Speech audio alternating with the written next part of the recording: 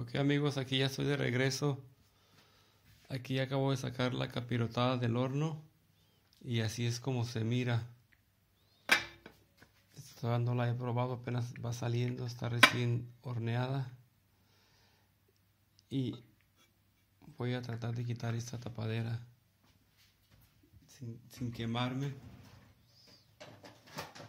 Porque como estoy grabando, tengo el teléfono en una mano. Entonces tengo que tener mucho cuidado. Porque está demasiado caliente.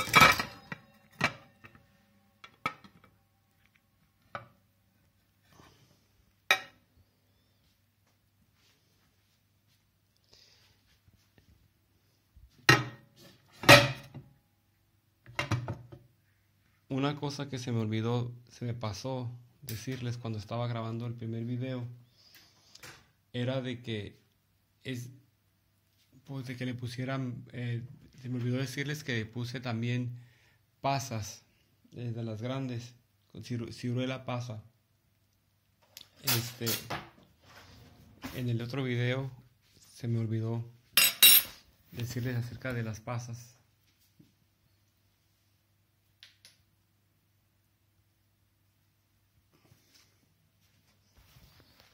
Y así es como se ve.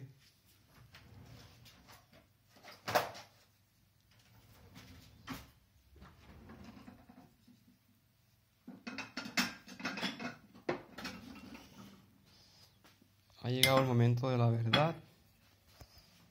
Me voy a servir un poquito. Y a ver qué tal. Yo pensé que me iba a quedar muy aguada. Y la verdad que no, no está aguada, al contrario. Yo pienso que quedó seca. Y yo tenía miedo que quedara aguada porque se miraba muy jugoso, pero no. Quedó un poco seco, amigos. Así que fracasé en mi primer intento. Es la primera vez que hago, nunca había hecho. Entonces, como se dice, no le tanté bien el agua a los camotes. Pero bueno, ya para la próxima espero que me salga mejor. Ya echando a aprender se aprende. Espero que ya para la próxima ya me salga mejor. Pero bueno, les quise compartir y para que vean que no todo es color de rosa. Me quedó un poquito dura, seca. Pero huele muy rico. Este. Y es todo.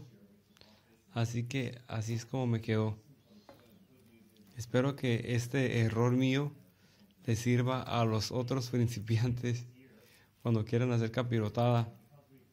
De que no tengan miedo de que les quede mucha agua porque se evapora muy rápido. Entonces a mí me sirvió este experimento por primera vez. Para la siguiente ya le voy a poner un poco más de jugo. Pero bueno, este, aquí está la capirotada.